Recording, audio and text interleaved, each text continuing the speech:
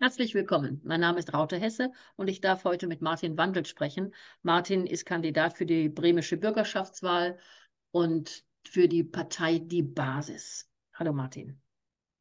Hallo Raute. Dein Thema ist Mitbestimmung. Jetzt leben wir in einer Demokratie. Hier ist es für uns alle normal mitzubestimmen. Wo siehst du Schwierigkeiten oder Handlungsbedarf? Ja, im Moment dürfen wir ja nur alle vier Jahre ein Kreuzchen auf einem Wahlzettel machen. Und äh, damit bestimmen wir halt, wer in, im Parlament sitzt.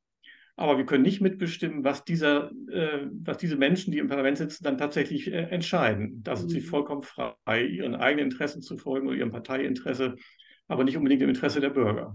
Und das, diese Art Mitbestimmung, die wollen wir halt einführen. Also tatsächlich so, dass der Bürger bei einzelnen Sachthemen ganz konkret mitentscheiden kann. Genau. Wir haben eine Abstimmungsplattform entwickelt, also eine App sozusagen, die man sich auf seinem Handy installieren kann.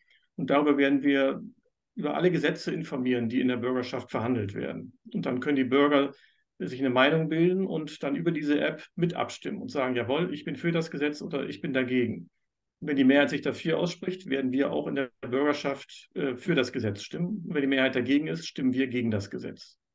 Das heißt, die Partei Die Basis hat äh, sich äh, nicht nur, nicht nur auf, auf das Schild geschrieben, dass es mehr Mitbestimmung geben soll, sondern die Partei Die Basis hat auch bereits ein, die Möglichkeit geschaffen, dass der Bürger mitbestimmen kann.